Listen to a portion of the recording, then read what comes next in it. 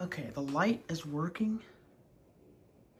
And as soon as I closed it, the green has stopped working. You can see the green is not working. So I don't know if the bulb decided to fail. I'm gonna have to troubleshoot this.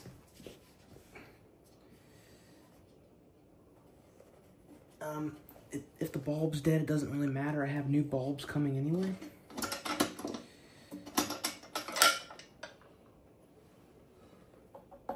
Bulb die?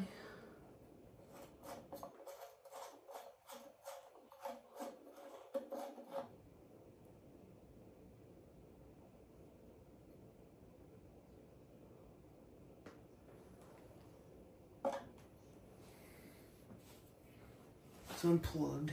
Let's see if it's the socket. It might be the socket.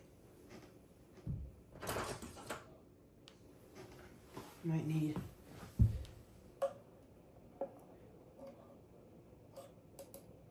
Okay, let's try that.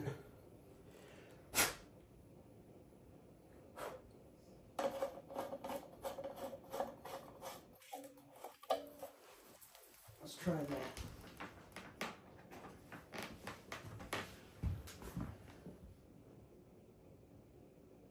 It's the socket. The socket was loose. Okay, that's fixed.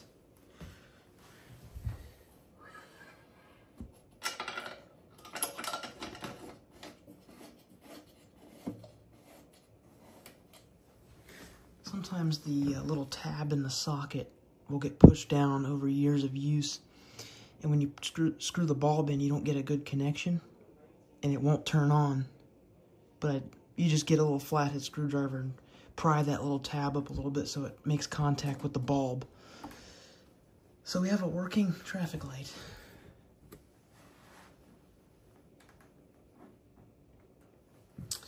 And then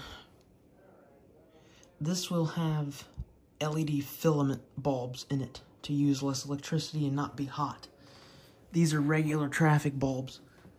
And then we will wire it to that one with the cord that's on the way. So this is the first step is wiring this. It's it's working, so that's good.